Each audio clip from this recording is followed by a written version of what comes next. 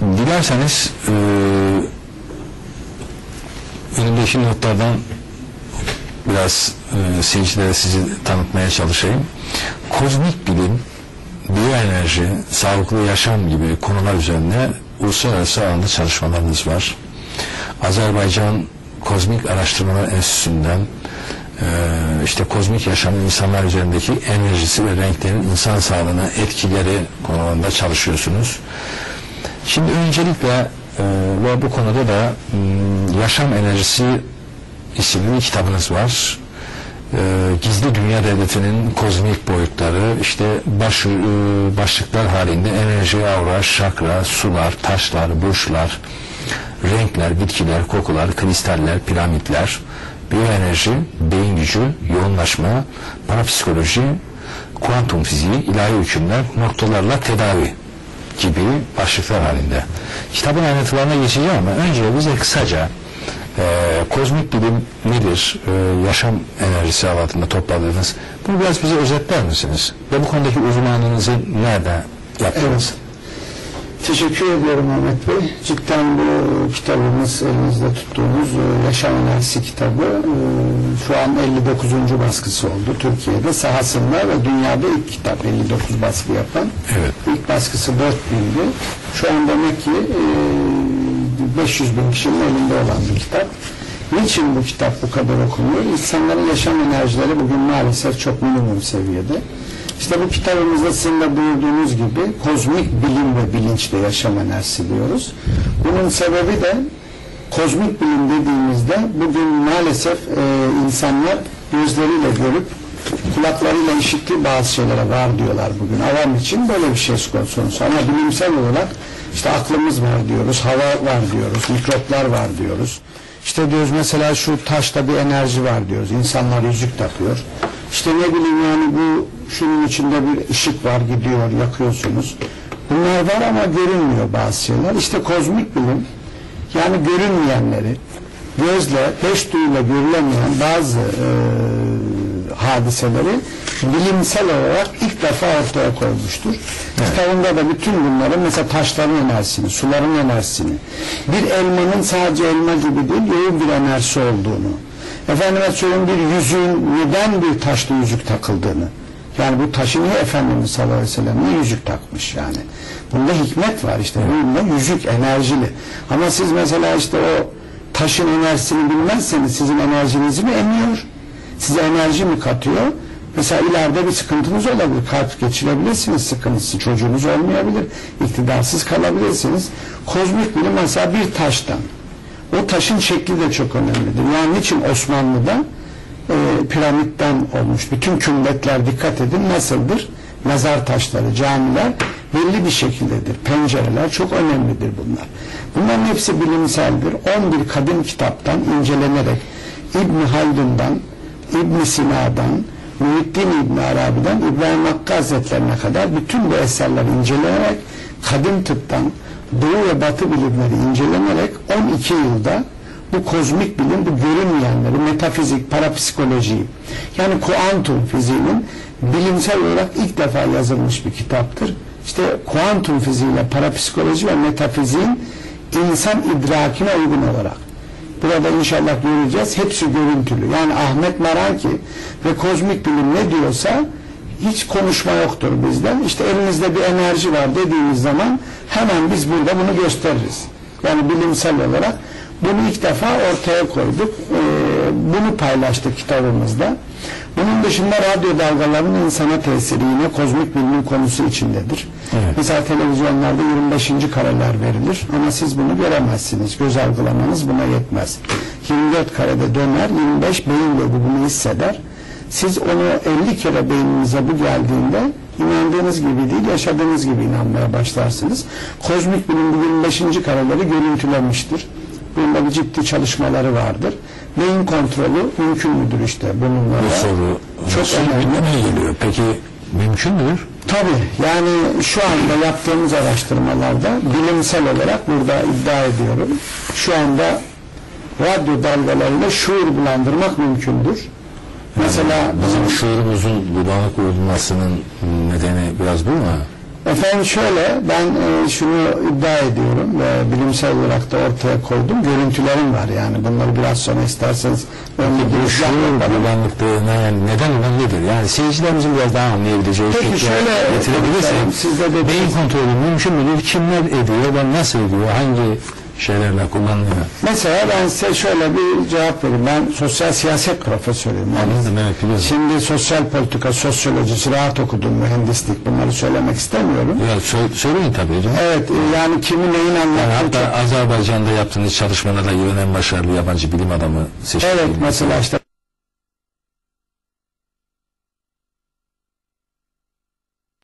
Uzun yıllar e, çalışmalarınızın olduğunu doktora üstü çalışmalarım oldu. Kentucky Üniversitesi tarım alanında tek çalışma benimdir mesela.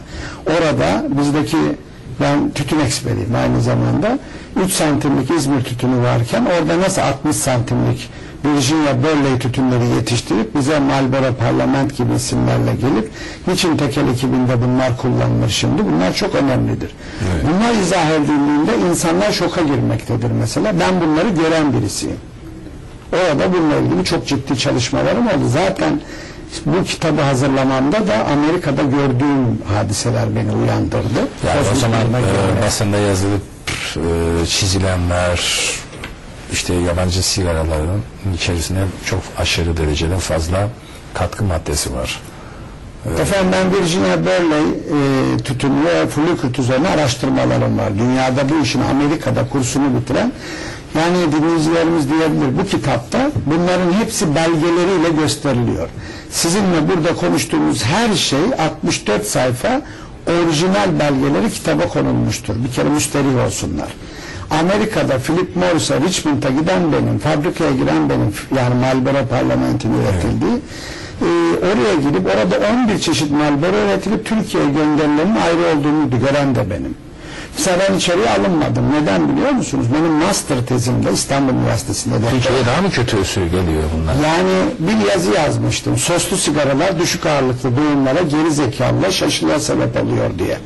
Bunu da ben demiyorum. 40 bin İngiliz doktoru üzerinde yapılan Medicine Journal dergisinden Ağustos sayısından bir çevirimdi bu. Bir gazetede yayınladım bunu.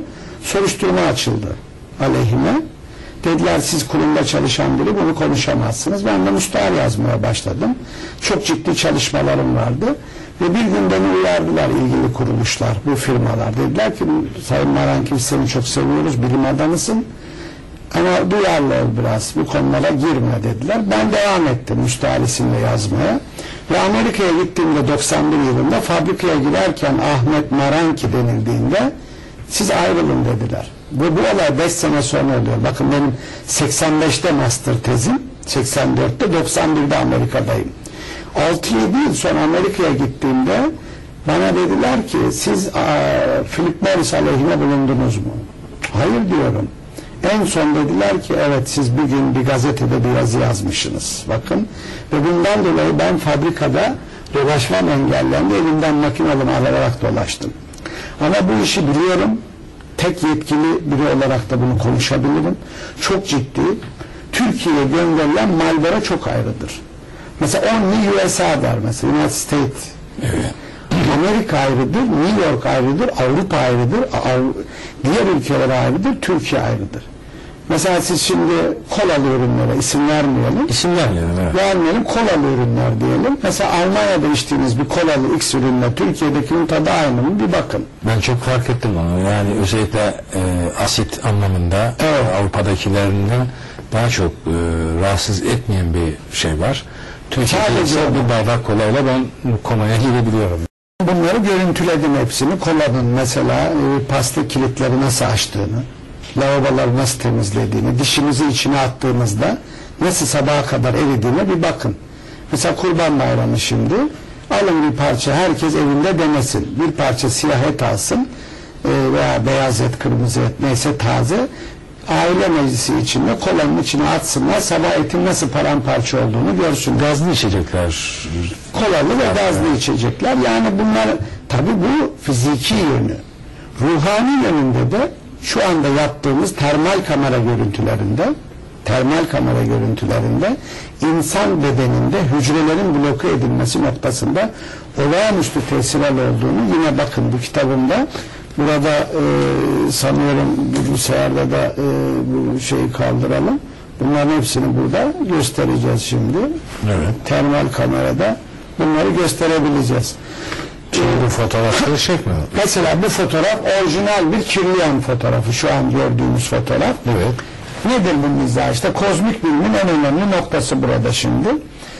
Termal kamerayla çekilmişti. Bunların yine hepsi burada sunumlarımız var bizim. Bakın bu termal kameralarda bunlar çalıştığımız benim eşim biliyorsunuz fizyoterapi uzmanı. Sağlık Bakanlığı'ndan Evet. yurt dışına resmi olarak görevlendirilmiş 93 yılında iglere terapi, fitoterapi, hidroterapi, biyoenerji gibi konular nedir diye öğrenilmesi için gönderilmiştir. Bu bilimleri kitabı da ikimiz yazdık. Tıbbi konular onun konularıdır bakın. İşte burada uzatmayalım. Yani bunların hepsinin termal kamera nedir? Bakın burada çok ciddi. infraş kameralar. Nasıl görüntülüyor? Hangi teknik kullanılıyor? Hepsi bilimseldir bunların. Ve burada bu resmi gördüğünüz zaman bakın mesela nedir? Bize bunu 10 konuşmaktan bir görmek çok etkili. Benim 109 konferansımı bitirdim bir buçuk yılda bakın. Bunun 60'a yakın Avrupa'da, gerisi Türkiye'de oldu. Mesela geçen O hafta zaman sırayla gidelim. Yani e, konferanslarınız bunların hepsi bir tarafa. E, beyin kontrolünden başlayalım. Beyin kontrolü kim yapıyor ve nasıl yapılıyor? Yani O zaman ben korunmanın yolları nedir? Evet, ben size bununla ilgili burada bir şey göstereceğim. Mesela ben şöyle bir şey sorayım. Şimdi Saddam'ın e, 400 bin devrim muhafızından söz edilir biliyorsunuz. Hani vardı Amerika girdi hiç bunlar görünmedi. Evet. Şimdi şöyle Pentagon'un açıklaması vardır bakın. Biz bir teknoloji kullandık. Nedir bu? Apache e, helikopterleri çok teknolojik bir alettir. Bunlar 60-80 metreden uçtu, uçuruldu biliyorsunuz. Hep bunları canlı yayınlarda dinledik. O inlerdeki 400 bin kişiye belli sinyaller gönderildi de onların şuurlarında bir bulandırma yapıldı da acaba bunlar ya ben bu saatte ne yapıyorum saat 9 gideyim evimde kahvemi içeyim mi dediler de gittiler hiçbiri yok meydanda bir bakın ve Pentagon'un açıklaması var biz böyle teknoloji Bosna'da ve Irak'ta kullandık. İki, büyük bir alışveriş merkezine gidiyorsunuz. Cama yazmışlar peynir 3 lira. Peynir 10 lira aslında. 3 lira için içeri giriyoruz ama 300 milyonluk alışveriş yapıp çıkarız eve. Bunları satış teknikleri olarak pazarlama metotları Efendim ben olarak söylüyorlar. spesyalist ekonomi yani Birleşmiş Milletler'de görev yaptım. Evet. Ve ünvanım da market ekonomi spesyalist. Benim işim bu. Evet. Yani pazarlama nasıl? 4P nedir? Mal nedir? Price nedir? Place nedir? Promosyon nedir? Benim bilimsel konum bu. Bu promosyonun içinde işte orada belli sinyallerle, belli bir fondaki müzikle sizin belli noktalarınız, içgüdüleriniz tetiklenebiliyor mu? Dünyada bunlar kullanılmaktadır. Bakın ben dedim ya Amerika'da kaldık. 91 yılında Amerika'da Dibeki en büyük beyin cerrahı geçen rahmetli oldu. Gazi Yaşargil ve Mehmet Öz'ü yetiştirenlerdendir. Ee, ben bir Cumhurbaşkanlığı heyetine bunun elimde CD'lerim var şu anda devlete de verdim bunları. Ee, bir e, konferansını izledim. Orada Nevada'dan Güney Kara'daki bir çocuğun gözündeki iltihaba radyo dalgası göndererek tıkanmış olan hücreyi uyarıp onun çalışmasını sağlayıp bunun görmesini sağlıyor. Yani radyo dalgasıyla hücreye müdahale edildiğini 91'de görmüştüm. Aklım yetmemişti. Rusya'ya geldiğimde 93'ten 2005'e kadar biliyorsunuz bölgede görevliydim yine eserlerimde resmi devlet adına o bölgedeydim. Orada gördüğüm strateji merkez, kozmik araştırma merkezlerinde de bütün bunların hepsini orada bu gözlerimle gördüm. Hücrelere belli müdahale ederek onları pasifize etmek ve aktivite etme noktasında bir şuur bulandırmasının mümkün olduğunu. İşte bakın şimdi burada mesela bir radyo dalgası çok önemli. Ben hızla geçiyorum onlar ileride olduğu için. Radyo dalgalarıyla mesela cep telefonları bugün çok önemli. Evet. Cep telefonlarında ne görüyoruz? 4 dakikalık bir konuşmada ne oluyor? İkinci dakikada beynimizin bir derece beynimizin bir derece ısındığını görüyorsunuz bilimsel olarak. Termal kamerada bunları şimdi göreceksiniz burada. Çok önemli. Çok mu ileriyim? Evet, eee, şey değil, eee, ben onu öbür türlü de yapabilirdim. Bunlar e, çok önemli konular. Evet, tüysüz tavuklarımız da biraz sonra yeni değiştirilmiş organizmalar. Bunlar Evet. bakın.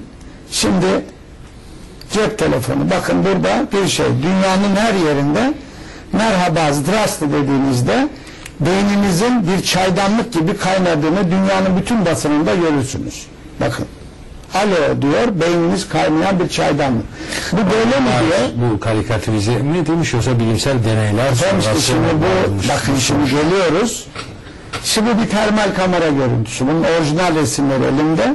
Ben bunları yanında Bu bir gerçek görüntü ama termal oluyor. termal kamerayla çekilmiş Doktor Adil Gurbanov bizim kozmik araştırma merkezinde işçimiz Evet. çalışan resmi görevli birisi bakın birinci karede telefon elinde aura hücrelerinin e, kapanıp açılmasıyla verilen bir görev.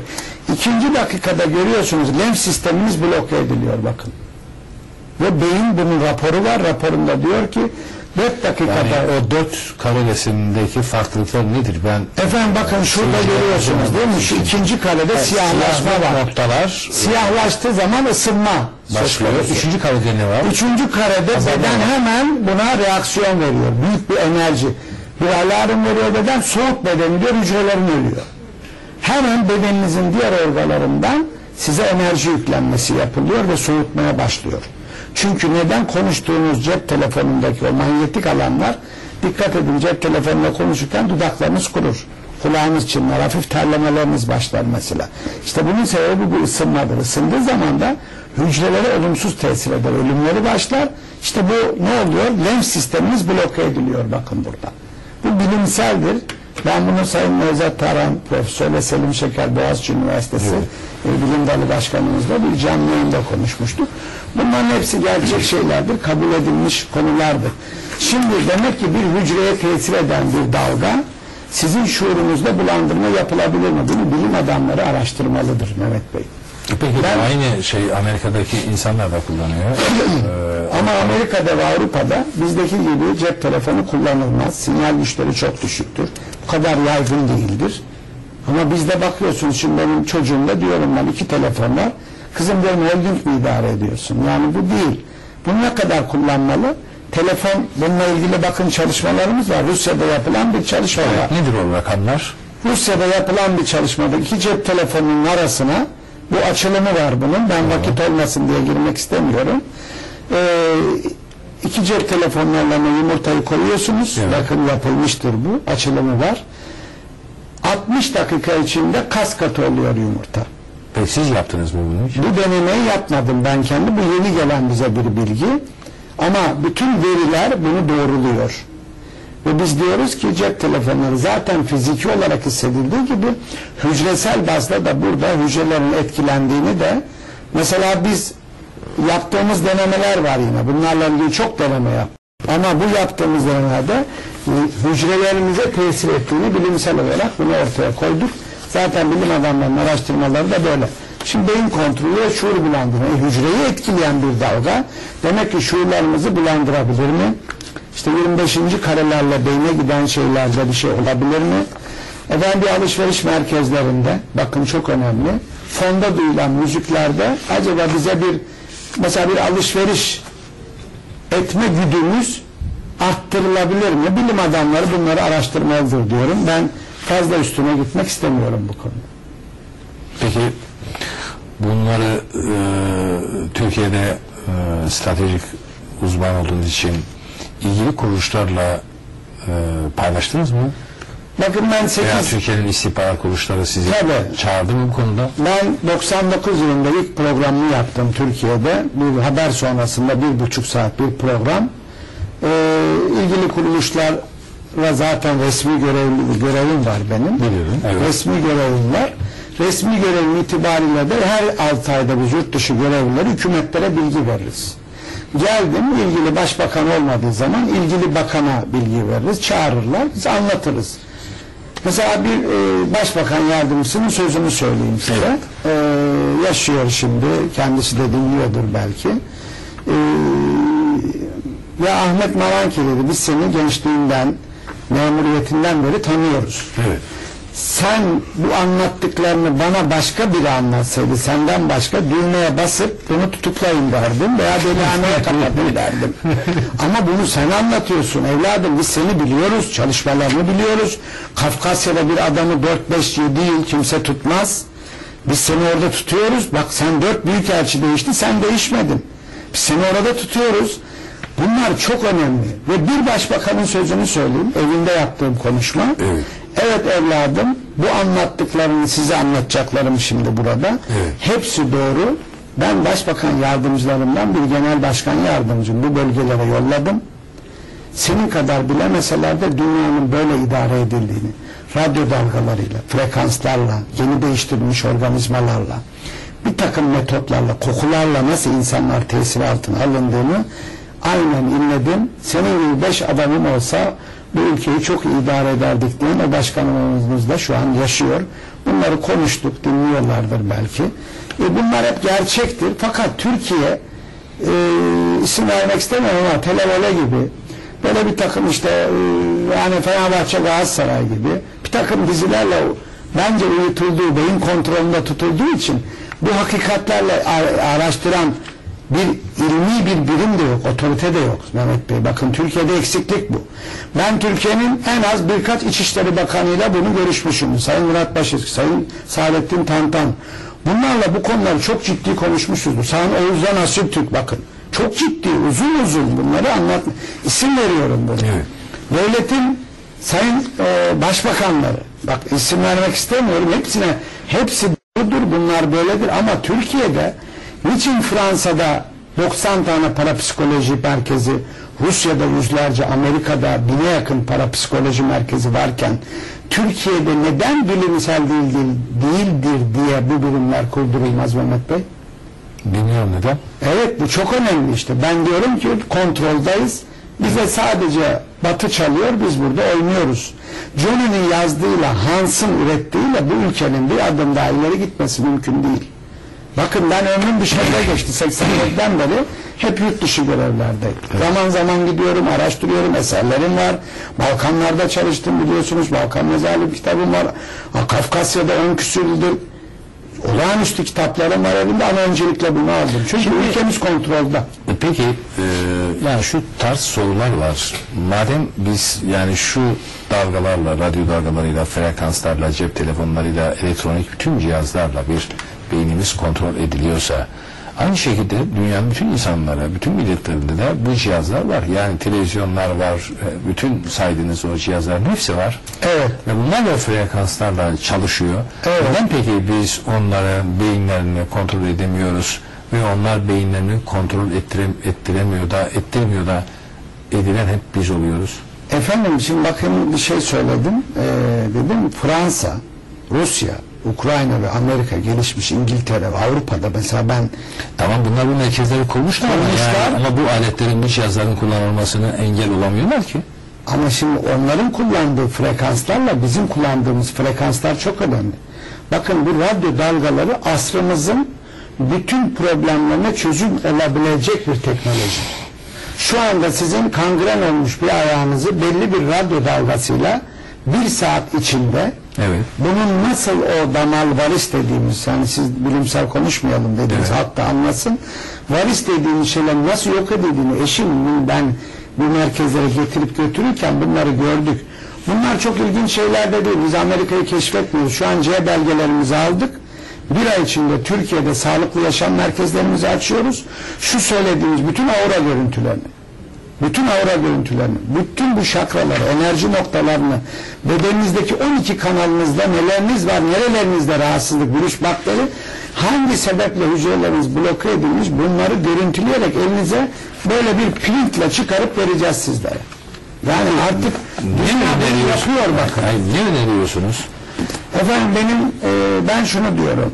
Ben adımı değiştirmeyeceğim tabi Ahmet Merenki olarak işte Mehmet Beylerle Ahmet Beylerle konuşmaya devam edeceğim. Ama bu ülkenin üniversiteleri, bilim merkezleri, TÜBİTAK'ları lütfen kuantum fiziği, parapsikoloji merkezleri bakın. Şimdi bu bilimsel değilse Amerika'da niye var? İngiltere'de niye var? Fransa'da niye var? Resmi bakın Google'dan girin parapsikoloji deyin size Fransa'daki 60 tane merkezin adresini verir.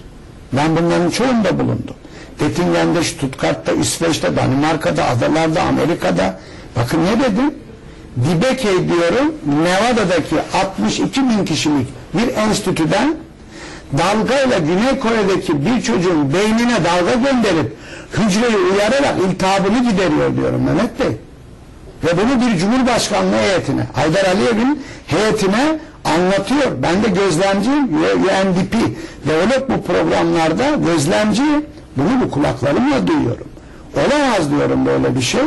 Geliyorum, araştırmalarıma geldiğimde bu Rusya'ya gittiğimde bunlar uygulamışlardı. Bir bakıyorum ki evet eşimin çalıştığı bu strateji merkezlerinde yani bunlar KGB ile ilgili merkezler Rusya yıkıldığında bağımsız olduğunda görme imkanımız var. Şimdi o merkezler de kapatıldı mesela.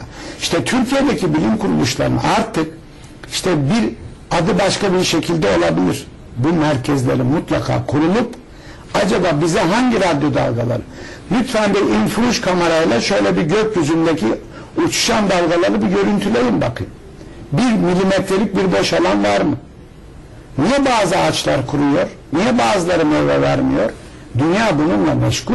Dünya bununla ilgili bilimsel çalışmalar yapıyor. Hücreler üzerinde, hayvanlar üzerinde denemeler yapıyor. Ne zaman yapıyordu bunu? 91 yılında. 2006'dayız. Hiçbir şey yapılmıyor ülkemizde.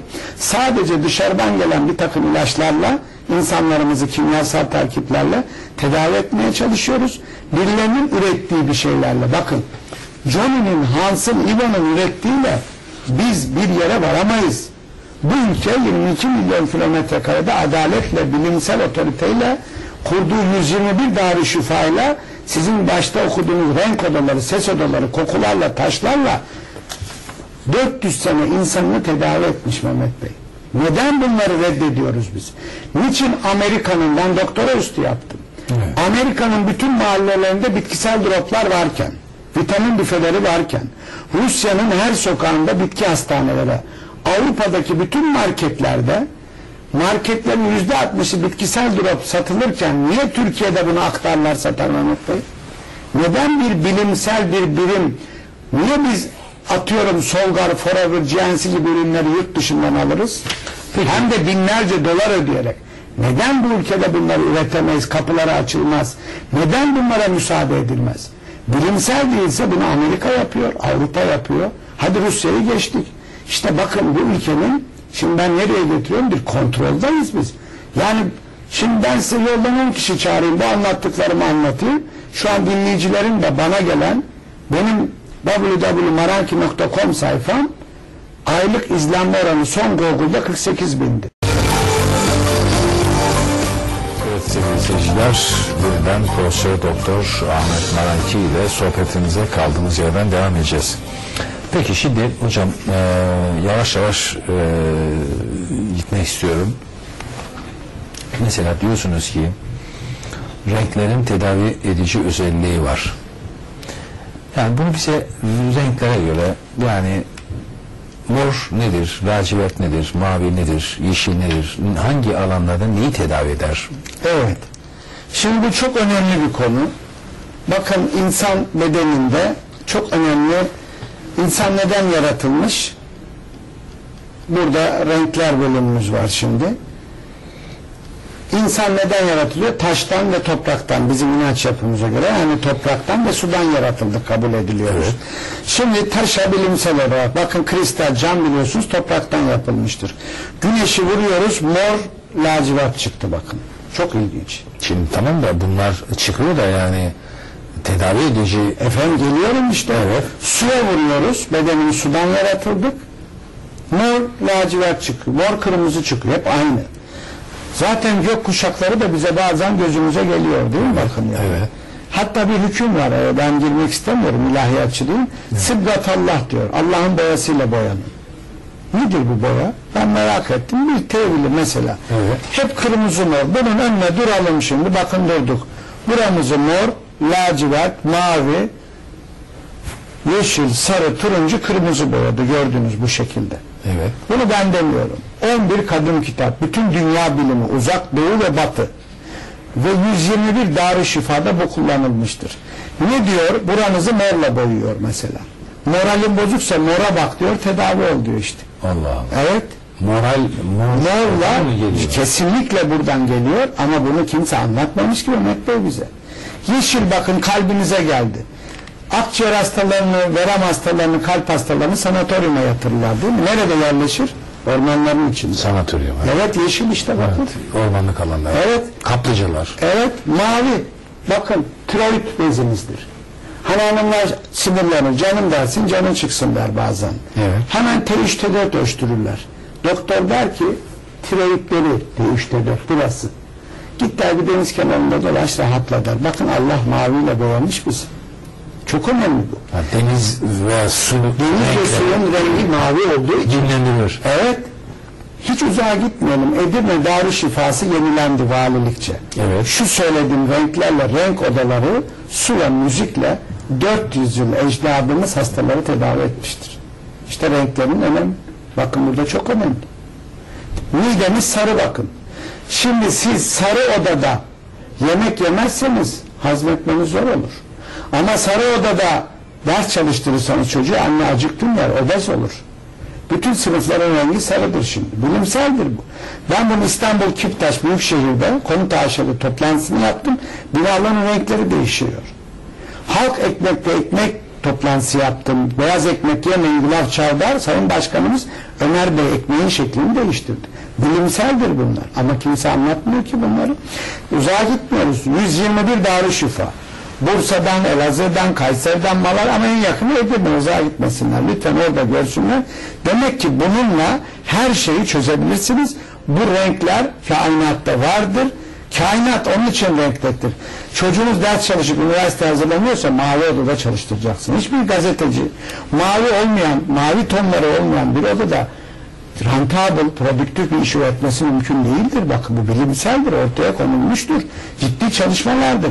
Yatak odanız yeşil olursa rahat uyursunuz ama ya, e, siz yeni evliyseniz pembe tonları olmalıdır. Neden? Çünkü demin gördük bakın burada. Pembe neydi? Cinsel içgüdülerinizin rengidir.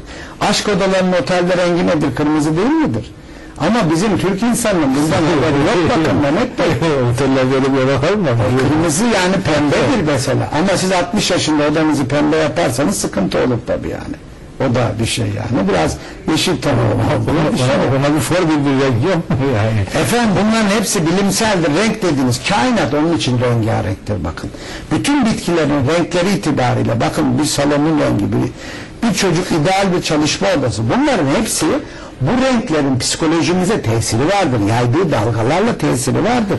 Bu çok önemlidir. Kadim tıpta Osmanlı'da ve günümüzde bunlar kullanılmaktadır. Lütfen Stuttgart'ta, Avrupa'da, Duisburg'daki bu termal merkezlere gitsinler. Bakın uzağa değil. Lütfen İzmir Malili Valiliğinin Balçova tesislerini gezsinler. Orada renk odaları vardır. Peki Osmanlı'nın mesela bakıyorsunuz çok kumaşlarında, saray duvarlarında böyle kırmızı ağırlıklı şeyler vardır. Ee, kumaşlar, kıyafetler, o renkler. Ee, kırmızının ne anlamı var? Evet, Veya kırmızı- rengimiz var bizim. Mesela turkuaz tamamen e, düşünce rengidir. Beyin rengidir. Yani insanın buradan yukarısını çalıştırır bir renktir. Onun için turkuaz çok önemli bir renktir. Her renge uyumludur. Mesela benim evimin geçen gün bir X televizyonda haberde 8 dakika Camaranki hangi evde yaşıyor? İşte bu renk niye salonun rengi lila? Niye mutfağı turuncu sarı? Niçin yatak odası mor ve? Mutfakta e, şimdi o zaman sırayla gidelim. Ee, mor rengini hangi oda için düşünüyorsunuz? Efendim mor beyin rengidir bakın. Hangi oda için bir evde? Hangi oda? Mesela bir düşünce odası. Çalışma Fikir odası. üretmek istediğiniz tam mor değil, lila. Lila yani mavi ile lacivert arası. Çocuk odası Çocuk odanız ders çalışacak bir çocuksa mavi tonları olur. mavi tonları. Çok önemlidir. Ee, yatak odasını söylediniz. Yatak odanız gençseniz pembe olsun ama yaşlandıkça yeşil ve diğer renklere kaymasında fayda görüyoruz. Yatanı pembeleş, e, kaldıkça renkler solabilir diyorsunuz kendiliğinden. Yani insanlar da solar. Ee, yani soldukça yeşile dolu kayarsa kalp bölgesi çalışsın. Yani başka Peki salon ve oturma yerleri. Mavi efendim bakın Mavi. burada salonu gösteriyorum bak mavi tonlarıyla falan. Bunlar Beyaz ve başka beyaz renkler. renkler bütün renkleri toplar rahatsız eder insanı. Beyaz renkte tam bir netice alamazsınız. İstifade etmek isterseniz bu renklerin enerjilerinden, dalga boyunlarından Evet. bu bilimden binlerce yıldır istifade edildiği gibi bizler de istifade edebiliriz. Bu bilimseldir. Ortaya konulmuştur. Ama bununla bugün meşgul olan ne bir üniversite, ne bir teknoloji, ne bir hiçbir kuruluş yoktur bakın. Sadece termal merkez, Avrupa'da bunlar vardır. Eşler girer odalara, bu renklerle sizi süzerler, 20 dakikada dinlenirseniz sağlıklı yaşam merkezimizde bunları koyacağız. Sadece bu renkler böyle değil. Mesela sizin bir taşınızın rengi vardır astrolojide. Efendimiz yüzük takmıştır. Hangi taşta yüzük, hangi renkte? Sünnettir ama siz taşınızın rengini ve şeklini bilmezseniz bir anda enerjinizi alır, iktidarsız kalabilirsiniz mesela. Veya çok enerji verir, gerek olmaz, bedeninizdeki bir takım olumsuz hücrelerinizi tetikleyebilir. Bu da bilimseldir. Bunların hepsini yine bütün bu taşların, bu yaşam enerjisi kitabımızda burada bu taşları bilimsel olarak orada. Peki şey, e, masanın üstünde bir şeyler var. Bakın burada görüyorsunuz bir turkuaz yüzün verdiği enerji alanı, bir akin enerji alanı dünyada ilk defa görüntülüyoruz bakın bunlar. Çok önemli enerji yayıyor. Karşıdan bir bakışa sizin enerji alanınıza taşınızla onun bakışını nazara dediğimiz bakışı geri gönderme yetenekleriniz var. Bunlar olabilmekte bir kıyafetler için de geçerli mi? Tabii kesinlikle sizin Örneğin- giydiğiniz elbise Evet. sizin psikolojinizi yansıtıyor. Mesela ben şu anda gri ve içimde de siyah giymişim. Ne? Evet yani geliyor? gri giymeniz sizin yani eee, çok aktif değil, çok pasif değil. Tam böyle bir sunum programı. Yani böyle yumuşak, Evet. sakin zaten fıtratımız da öyle. Kendi renginizi bulmuşsunuz. Siyah. Siyah olmamalı. Kainatta siyah yaratılmamıştır. Kabe'nin örtüsü siyahtır. Bütün enerjileri menfileri çekip herkes beyazdır. Çeksin diyedir. Ben, Ee, her zaman giymemek lazım. Adam siz diyicilerinin menfilerini çekecek falan. Ama sizinki tam siyah değil, beyaz var, o var, bir uyum var. Tam fıtratınıza çok uygun. Peki e, lacivert giyinmek. Lacivert giydiğiniz zaman insanlara yoğun bir tesir yaparsınız. Hiçbir zaman karşı size bir güçle engelleyemezler mesela. Bu Evet. çok önemlidir yani. Peki e, beyaz giyinirler. Beyaz giyinirlerse de tamamen dışarıdan gelen enerjileri yansıtma yeteneği vardır. Parlak beyaz olursa çok olumlu bir renktir. Giyilmesinde fayda görülüyoruz. Onun için işte doğduğumuzda da öldüğümüz, ölmeden de işte Arafat'ta haçlar niye beyaz giyerler? Tamamen bütün müsbet enerjileri emmek içindir. Evet, kundak beyaz, kefen beyaz. Mesela bunun gibi. Efendim bunların hepsinin izahı var da tabii bunların ayrı ayrı bölümde bunları konuşmamız lazım diye düşünüyorum. Demek ki bir de taşlardan başka bitkilerin de renkleri. Şimdi bu taşlar ne anlama geliyor bu masadaki taşlar? Efendim bakın şimdi bu taşların mesela bu bir e, pembe bir taştır. Bu çok önemli. Mermer değildir. Bu amatistin değişik bir türevidir. Bu şekli itibariyle enerji kabul edicidir bakın. Bütün kümbetlerimiz Selçuklu Osmanlı eserlerinde camilerimiz falan piramit müthiş bir enerji kabul edicidir. Siz bunun altına O zaman bunu filanlar... bu Firavun da kullanmış bunu cesedi çürümemiş bakın çok önemli. Neden? Anlamam. Büyük bir enerji veriyor işte çürütmüyor bakın. Çok önemli. Siz de bunun altında böyle bir seranın altında cam bir serada ürettiğiniz şeyleri çok çabuk üretirsiniz yoğun enerjili olur. Mesela bunun altına şimdi böyle bir cam şişenin içine şerbetlerinizi koyun 6 günde bozamazsınız. Bozulmaz. İçinde bakteri virüs üretemezsiniz. Bunun altına tıraş bıçağınızı koyun 100 yıl kullanabilirsiniz bir prizmanın içine küflenmesi mümkün değildir. Onun için bazı cesetler küflenmemiştir. Herkese Firavun'un cesedi de böyle olabilir mi diye bunlar bilimsel olarak araştırmalıdır. Çok önemlidir. Osmanlı Selçuklu kadim devirlerde bunlar gidin Konya'ya Konyevi Hazretlerinin türbesine bakın. Aynı bu şekildedir. Bunlar çok önemli kullanılmıştır diye söylüyorum. Renkler bu kadarla değil Mehmet Bey. İnsanlarımıza faydalı olmak için bitkilerin de renkleri var değil mi? Evet. Rengarenk bitkiler. Evet. Mesela bir patates. Evet. Bütün yaratılan bitkiler bakın kainattaki renkleri ve şekilleri itibariyle bedenimizdeki bir organa işaret eder. Kozmik bilim bunu da araştırmıştır. Bunların hepsi yine var ama vakit aldığı için girmiyorum. Şimdi o zaman e, renkleri konuştuk. O zaman e, gıdalara o zaman geçelim. Geçelim. E, orada diyorsunuz ki e, işte patates çipsi yememelidir, şu yememelidir. Yani bu sizin mm, ne yemeli, ne yememeli? Evet. Biraz bu konulardan e, e, firma ve marka isimleri vermeden. vermeden buna verelim. Mesela bakın burada işte yüzük ve şeylerin enerjili taşlarını ekranda arkadaşlar. Bunları, evet, bunları anlattınız. Gördüler. Mesela bir piramidin içindeki yoğun bir enerji. Mesela evimizdeki hanımlarımız bir cam fanusun içinde müthiş bir yoğun termal kamerayla çekilmiş. Cam, mutlak cam şişeler kullansınlar. Çok önemli. Yani saklamak Allah'ın Tabii mı sakla- olsun? cam olsun. Cam nedir? Topraktır. Bedenimize uygundur. İçindeki toprak elektronları az olan bir türevdir. Proton yüklüdür. Elektron kozmik bilime göre eksidir. Eksileri çeker. içindeki olumsuzlukları yok eder diye düşünüyorum. Bu çok önemli. Bitkiler. Şimdi ne yapmamız lazım? Mesela elma. Bir, bir kere insanlarımızın demin dedik ya elektronik dalgalar, yeni değiştirilmiş organizmalar, stres, sıkıntı, çevre, ekoloji hücrelerimizi bloke ediyor. Biz de hastalanıyoruz. Peki nasıl düzelteceğiz? Çok kolay. Tabii ürünler yiyeceğiz. Tabii meyveler memek. Onları nasıl anlayacağız? Efendim işte bakın biz bir elmanın tabii herkes nasıl ölçecek enerji alanını. Dünyada ilk defa dinleyicilerimiz bir elmanın enerji alanını görüyor. Bakın yoğun bir fışkırıyor enerji bakın. Bunların hepsi görüntülü. Canlıları var. Her, elma için geçerli bu. Tabi her elmada bu var ama siz bir kiloluk bir elma olursa e, dokunduğunuzda sabah çürüyse tabi elmalardan yani kurt yemiş. Nasıl bizim Avrupa'da sarı kayısılarımız 2 dolara satılmıyor, İspanya'nın kara kayısıları 5 dolara satılabiliyor Euro'ya. Yani şimdi insanlar marketlerde sabah manavlarda aldığı elma bu sizin dediğiniz enerjili elmaya girmiyor mu? Valla e, sizin uyanık olsunlar. Yeni değiştirilmemiş küçük ben tavsiye ettiğim küçük elmalar tavsiye ediyorum. Yani bizim bildiğimiz Amasya elması. Amasya elmasını alıp yerlerse işte buradaki bu enerjiyi görürler. Bunlar öyle bir elmada çekilir. hızlı Bakın, gidersek? Mesela armutun enerjisi tabii meyveler yiyeceğiz. Bir kere mutlaka. İki, mutlaka mevsiminde yiyecekler Mehmet Bey. Mevsiminde mesela yaratıcı bilmiyor bizim Ocak ayında eve domates salatalık alıyoruz. Bu Temmuz Ağustos'ta yetiştiriliyor. Yaratıcı Ağustos'ta diyor ki portakal yiyeceksin. Ee, Ocak'ta diyor Ocak'ta portakal yiyeceksin. Ağustos'ta da portakal suyu içmeyeceksin, kiraz erik yiyeceksin. Bunu yapmazsan bir, fıtrat kanununa aykırı gelirsin. iki bedenin buna ihtiyacı yok.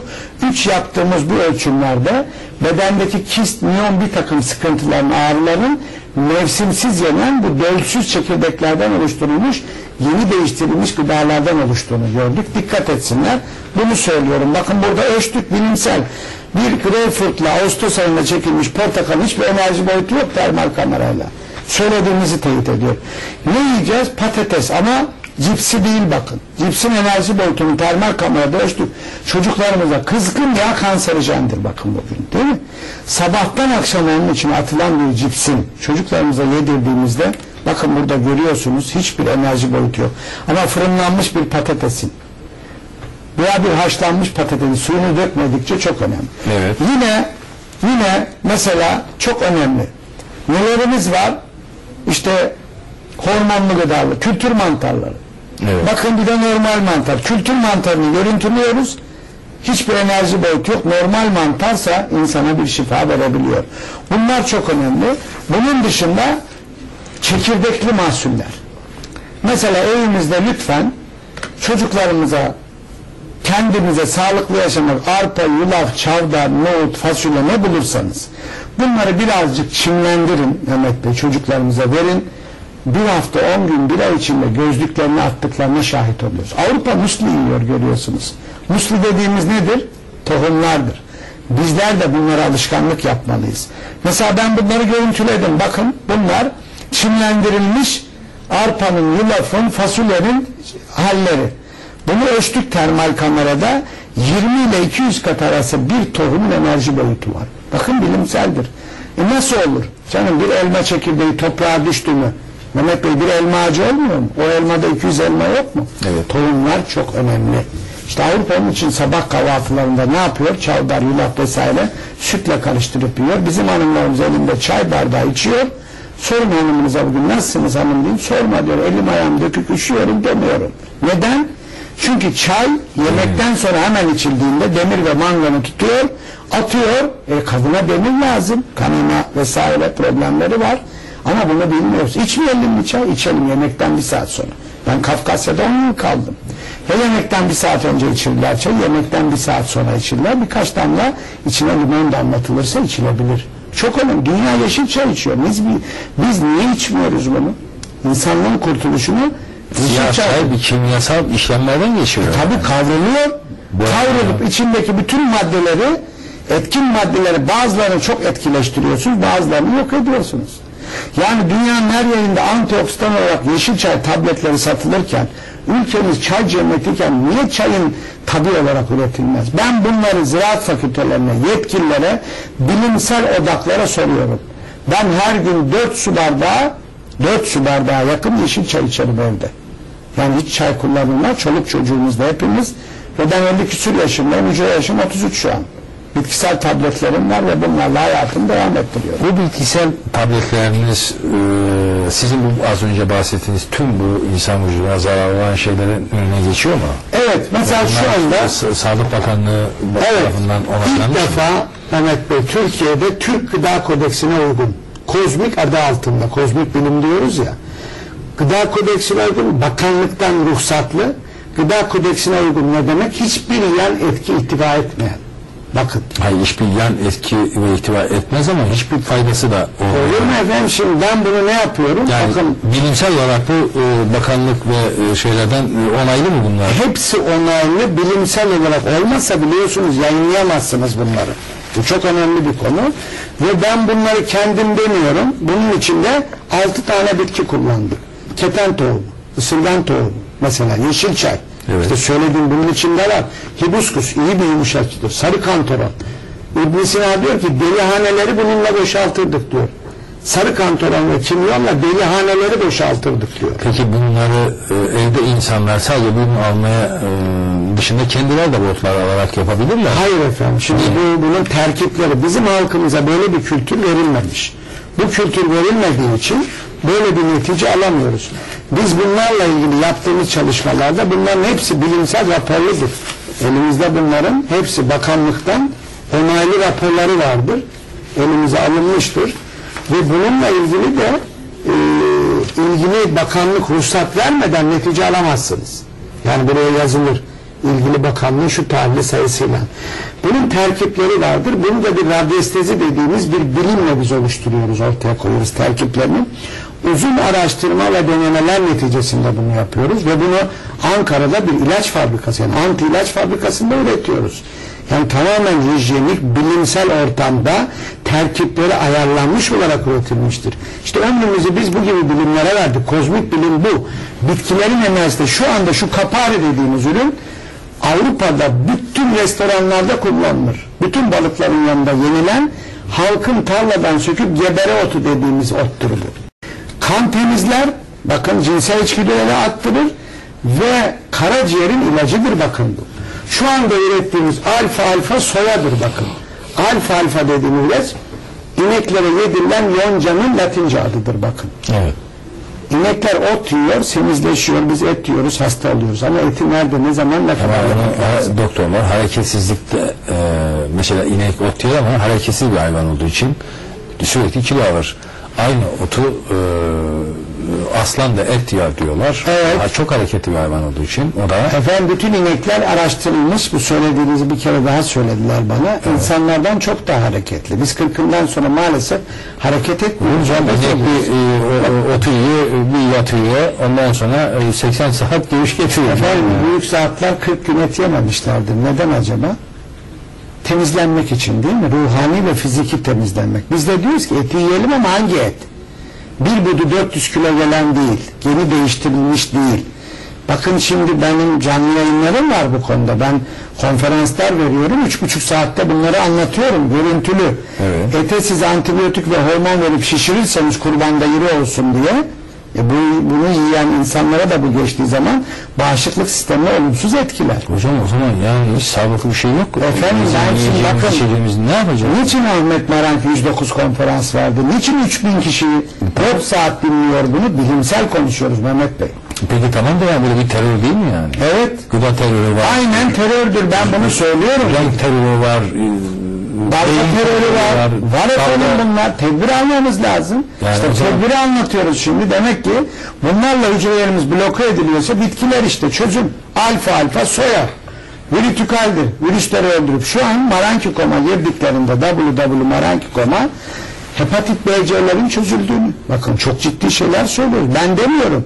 İsim adresleriyle ilgili hastanelerin başhekimleri kanser olan hastaların çözümleri Bunlar bilimseldir sayfalarımızda. Hepsi ince detaylı yapılmış. Tamamen kanuni ruhsatlı şeylerdir. Bunları çözebiliyoruz. Demek ki bitkiler buna bir çözüm olabiliyor. Taşlar bir çözüm olabiliyor dediğimiz gibi. Peki bir reklamlarımız daha var. Tekrar Tabii. olacağız. Evet sevgili seyirciler reklamlar diyoruz. Reklamlar sonrası yeniden konuğum Profesör Doktor Ahmet Maranki ile birlikte olacağız.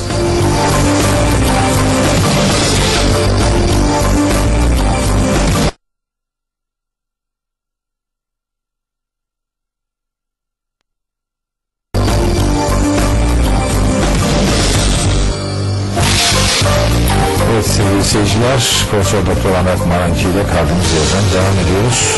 Hocam çok soru var. Son 10 dakikamız.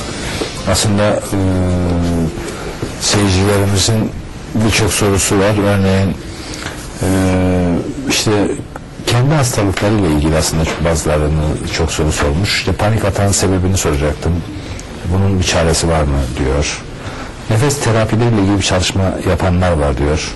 Evet. Nedir bu? Ben anlamadım. Tabii nefes terapisi çok önemli. Yani bugün bir insan kitabımızda Yaşam Üniversitesi kitabında bütün bu nefesi 12 sayfa anlattık. Bir insan nefes almasını bile bakın Türk insanı hep böyle durur. Yani eğik. Kapatır yedi şakrasını, yedi ağaçını. Mutlak arkaya verip burnumuzdan nefes alıp ağzımızdan günde 5-10 defa bunu yapın. Dökülen saçınızın dökülmesi duracak. Ayaklarınızdaki varisleriniz kalkacak. Sağlıklı, mutlu, huzurlu, cildiniz güzel, nefes darlığınız kalkacak. Kollarınıza, yüzünüze kan gelecektir. İddia ediyorum. İddia. Burnundan nefes almak. Burnundan alacaksınız. Göğsü kaldıracaksınız. Tutup ağzınızdan vereceksiniz. Günde beş defa birer saat arayla bunu oturduğunuz yerde yapın. Asla uykunuz gelmeyecek. Esnemeyeceksiniz. Ve hayatınızda bir ay içinde bu nefes eski egzersizleriyle çok olumlu değişmeleri göreceksiniz. Çok önemli. Bir de bunun duruşları vardır. Mesela bundan bir seyircimizin kaybedecek bir şey yok. Yok, yapın efendim bunu. Yürü- Para da vermeyecek. Televizyon bedava yani. Ama yapın bakın hayatınız değişsin. Şimdi ben diyorum bakın ben şimdi söylüyorum. Sizin yaşınız benim yaşım. Ben hücre yaşım kan tahlillerimizi yaptıralım. Ben sizden daha yaşlıyım. Evet yani yok bir şey demiyorum. Sizi çözeceğiz inşallah bitkisel droplarımız. Hiperaktif mesela diyorlar panik atak. Şimdi Mısra diyor ki hastalıklar iki türlüdür. Ruhani hastalıklar, fiziki hastalıklar. Şimdi fiziki hastalıkları ilaçlarla çözebiliriz. Kimyevi olsun, bitkisel olsun ama ruhani hastalıkların da manevi terapileri vardır. Bakın bunun içinde nefes vardır, bulunduğunuz yer vardır, yönünüz vardır, oturmanız vardır. Bir kirli Peki kısa kısa bulunmanız gidelim hocam. Pro- Doktor Mehmet Altuner bir sorusu var. Türkiye'de TÜBİTAK tarafından Pardüs yazılımından haberiniz var mıdır diyor. Hayır, bilgim yok. Nedir bu Pardüs yazılımı? Bilemiyorum. Ama ben TÜBİTAK'la ilgili dedim telefon çiplerimizi müracaatını yaptık bundan x kadar yıl önce. Evet. Hukuk danışmanımız da e, büyük bir savcımızdı Necati Özdemir'di.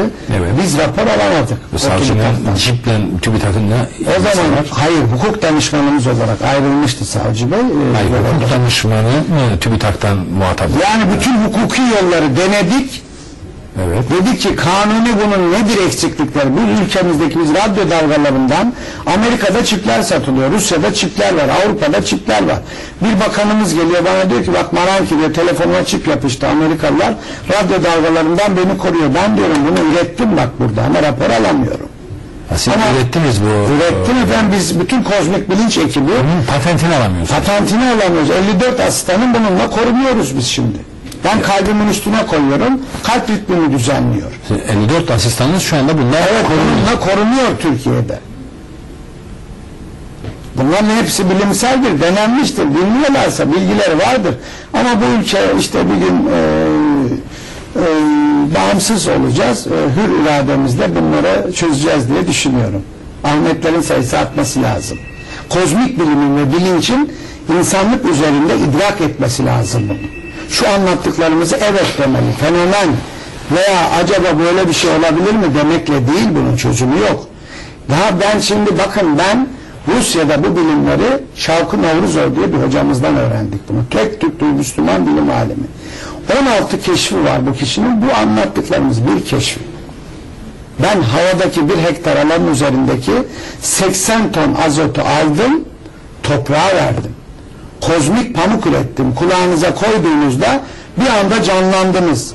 Devlete bu projeyi sundum. Bundan 5 dönem önceki hükümete oradayken.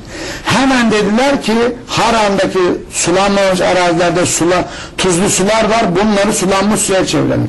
Tam projeye başlıyoruz hükümet yıkılıyor. Yeni hükümetle. Tam projeye başlıyoruz hükümet yıkılıyor. Sayın müsteşarlarımız şu an Sayın Fikri Şahin de o zaman müsteşarımız Evet, tam. Kıbrıs'ta ateşe Evet. talimat vermiştir. Hocanın her dediğini yapın. Kendisi iyi bir dostumdu. Mehmet Seymen müsteşar yardımcısı talimat vermiştir. Hocanın her dediğini yapın. Neden demiştir? Çünkü onlarla oralarda biz bu görevlerde bulunduk. O zaman maliye müşaviriydi. Yurt dışında olanların sonra haberi var. Bakanı Fikri Şahin Bey. Evet efendim oradan çalışmaya geçti. Benim de yakın arkadaşım. Şimdi bizi bilenler, tanıyanlar aman hocam diyor. Çok önemli bunu yapalım. Ama bunların hepsi şimdi yok. Şimdi ben anlatıyorum bunu. Ben şu ilacımın müsaadesini almak için Mehmet Bey akla karayı seçiyoruz. Yurt dışına ihraç edeceğim. Bu ilacımı Fransa, Almanya, İngiltere istiyor. Türkiye'deki istihdama katkı yapacağım. Ben bunu dışarıya satamıyorum. Neden? Yazı alamıyorum bakanlıktan. Yani diyorum ki Bakanlık bana Türkiye'de- yani şikayet manasında Hayır, bakanlık Türkiye'de satabilirsiniz diyor da yurt dışına mı satamazsınız? evet yurt dışına yatarken bunu bir yazı olması lazım. Bu ilaç değildir diye. Bakın ben bu ilacın yazısını alamıyorum şimdi. Siz de- ben bundan 100 bin tane talep var şu an. Almanya'dan Fransa'da 1500 kilo konferans yaptım. Bir kuruluş dedi ki ben bayilik almak istiyorum. Peki siz o ilacı gidip orada yapamıyor musunuz? Efendim ben ülkeme katkı yapmak istiyorum. Ben ülkeme istihdam yapmak istiyorum. Tarım politikalarıyla bu ülkenin Şeyi bir anlamadım ben anlamak için soruyorum seyircilerimizin de anlaması Buyurun. açısından soruyorum. Bu ilacı Türkiye'de Tarım Bakanı satabilirsiniz diyor. İnsanlara faydası olsun, zarar olsun, mini Bu besin desteğidir zaten. Zararı olmaz bunun. Peki o zaman niçin yurt dışına bırakmıyor? Efendim bırakmıyor? bunun için işte prosedürler var. Mesela ben şimdi yazı istiyorum. Ne istiyorsun? Fransa'ya gitmeden dedim ki hemen müracaat ettim. Arkadaşlar, dostlarımız bizim. Bunlar kolaylaştırılmalı. Ben diyorum ki bunun dışarıya satılmasında hemen bir yazı verilmesi lazım. Kozmik adlı kapari ilacı kimyasal bir terkip değildir. Zaten yazıyor burada. Bunun raporu ben İngilizce olarak bunu istiyorum. Çünkü kapıda benim yolladığım ilaçları Alman gümrüğü tutuyor. Bunun içinde bir şey olabilir mi diye. Kuşkuları var bu ülkeden. Bakın kuşkuları var. Postayla Yani- yolladığımız ürünleri Onların- gümrükten geçiremiyoruz. Onlardan kuşkumuz yoktu. Onların mı hala bizde var? Efendim bize Solgar, Forever her şey geliyor bu ülkemize. Ahmet Maranki bu ülkede çiftçimize Şimdi Tokat'ta, Çekeret'te, Yozgat'ta araziler tespit ettim. Kuşburnu diktirdim. 100-200 bin tane. Abdurrahman Bey'le Çekerek Belediyesi'yle ciddi çalışmalarımız var. Kastamonu Valiliğiyle Kastamonu'nun bütün bölgelerine kekik ürettireceğim. Ben bakın kapari üretemiyorum, bulamıyorum, yok. Şu anda sayfamda kapar isteyenlere ki bu e, trombositleri yüksek tutmak için çok önemli bir madde. Bana gelen e, maillerden bunu öğreniyorum. Hap haline getirdim. Kapar üretemiyorum. Yok çünkü neden? Üretilecek bir alan yok. İşte Kastamonu ve Tokat'ı ben Kastamonu'nun hanım Tokatlı pilot bölge seçtim. Şimdi orada ısırgan ürettireceğim. E, kapari ürettireceğim. Alanlarımız yok. Orman olmuş alanlarımız. Ürettim bunu. Dışarıya satacağım. Şu anda ölümcül hastalıkları işte o hücreleri bloke ettik ya. Bu bitkilerle bunları çözebiliyoruz. Bunun misalleri var. Denemelerimiz var. Evet. Yani psikolojik e, şizofren, manik depresif durumlarından tutun da zayıflama bugün mesela. Sağlıklı bir zayıflama. 20 günde e, Sizin bu bulduğunuz her şey aslında yani e, zayıflama var, kanser var. Yani Türkiye'nin bütün hastalıklar. Ben ben demiyorum. Bunu kim söylüyor? Turan Baytop söylüyor. Bakın. Kim o? Sayın e, botanik kitabını yazan Türkiye'deki bitkiler sahasında tek otoritedir bu. Profesör Doktor Turan Baytop. Evet. Baytop der ki ısırgan ben hiçbir şey demiyorum bu bitkilerde. Tanımatında koyuyorum. Isırgan şuna şuna şuna şuna iyi gelir diyor. Yazıyorum altına Turan Baytop bitkilerle tedavi kitabı Ziraat Fakültesi dekanı vesaire. Neyi söylüyorum? Ben bilimi konuşturuyorum burada. Bakın ben iyi gelir demiyorum. Peki Bitki sizin bu Türkiye'deki bu iyili çalışma alanınızla ilgili size karşı olan e, bilim adamları vesaire var mı hiç? Şimdi ben şunu görüyorum.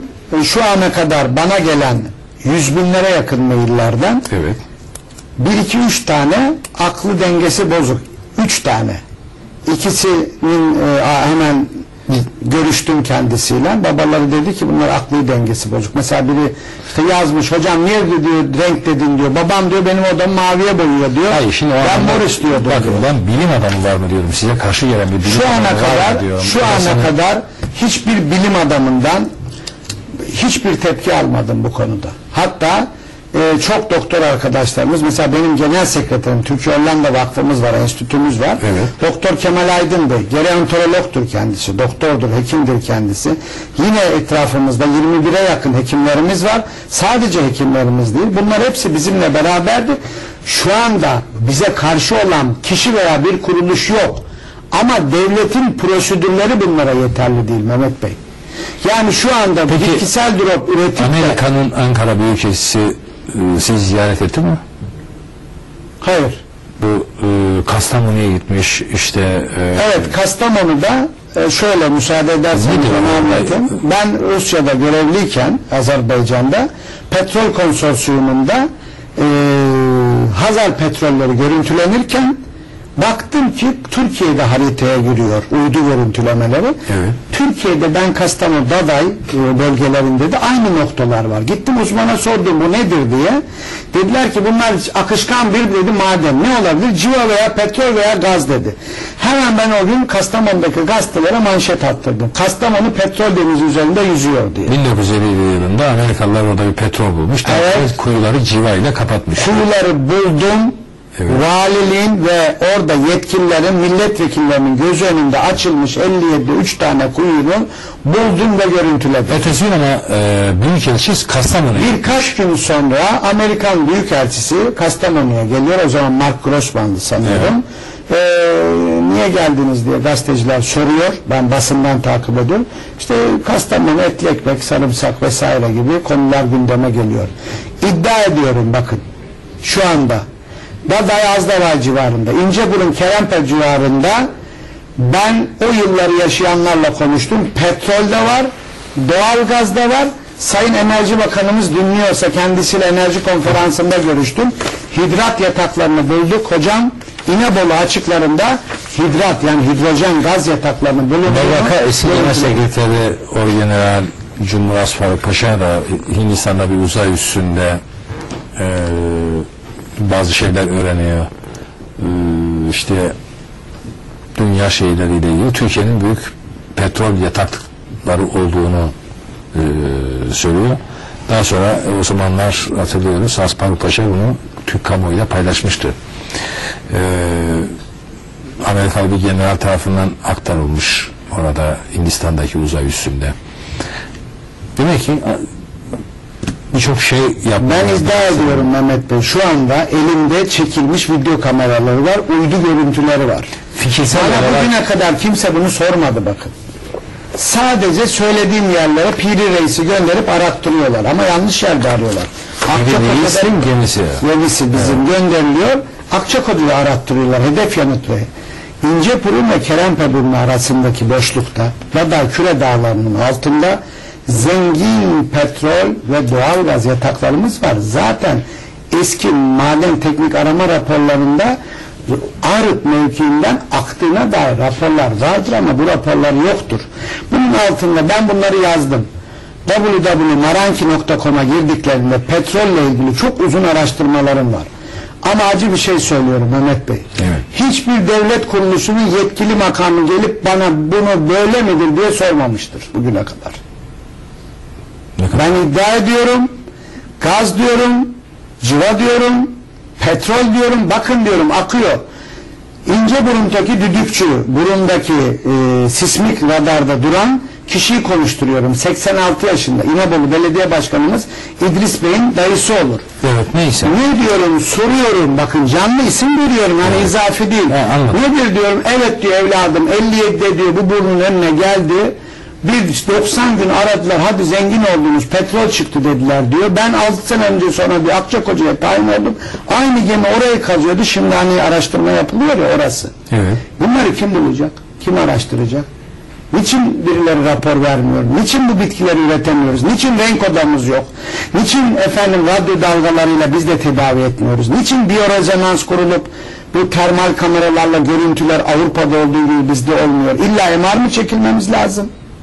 Niçin bitkisel droplarla Solgar'ın temsilcisi bana diyor ki ben diyor deve dikenini diyor yatlarla kaçırıyorum Ahmet Hoca diyor Akdeniz'den en güzel floradan.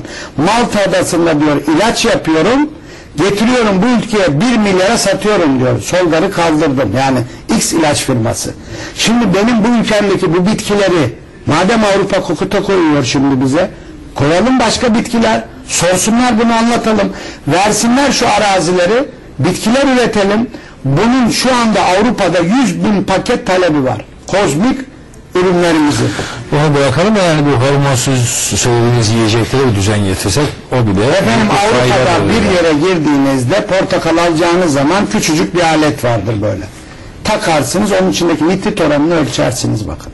O orada alet olduğu için hiç kimse orada o e, yeni değiştirilmiş nitrit oranı yüksek yani hormonlu ürünü satamaz. Bizde bu AB standartlarına varken niçin uygulanmamaktadır? Niçin çiftçilerimiz denetlenmemektedir? Gübre satışlarımız nedir? Kaç kere çiftçi gübre vermektedir? Neden Avrupa ve o, uzak doğuya satılan mamullerimiz geri dönmektedir? Bakın bunlar çok önemli. Rusya'yla bir domates krizi yaşamıştık. Evet bunları yaşadık. Bunlar çok önemli bakın. Neden bizim seralarımızda seralarımız neden plastiktir? Plastik seralarda üretilen mamullerde ne gibi etkiler oluşmaktadır? Kim araştırdı bunu? Araştırmamıştır bakın. Onun için şu anda işte bu hücrelerimizi bloke edilen hücrelerimizi çözmemiz. Şimdi siz kokunuzu bilirseniz kitabımızda var, tablolarımız var. Hangi bitkiyi hangi bitkiyle yerseniz sağlıklı yaşarsınız. Bakın burada bunu gösteriyoruz. Biz kozmik besleme tablomuz içinde. Evet. Hangi bitki ne enerji verir? Taşınızı, renginizi, kokunuzu öğrenin, mutlu, sağlıklı yaşayın. Daha ilaçlar 1940'larda üretildi kimyasal ilaçlar. Bundan önce insanlar işte bu bitkilerle hayatlarını düşünülüyordu bakın. Renginizi öğrenin, hayatınızı kurtarın. Patatesin rengi sarıdır, mideye benzer. Çiğdem patatesi ve lahanayı, göbek diyor ya. İkisini çiğden sıkın, reflünüz çözülüyor mu, ülseniz çözülüyor mu? Bakın. Niye bunları paylaşmıyoruz? Bilimsel aktarların elinden kurtarıp Sayın Mehmet Bey bunları Türkiye'de bir kuruluş kuruyoruz. Dünya Birleşmiş Milletler denetiminde çözüm şu. İntegratif Tıp Konseyi'ni kuruyoruz. İnşallah bunun başında olacağız. Ben şu an Çalışma Sosyal Güvenlik Bakanlığı'nın bir elemanı olarak da sağlıklı yaşamla ilgili Sayın Bakanımız ve Bakanlığımız adına konferansta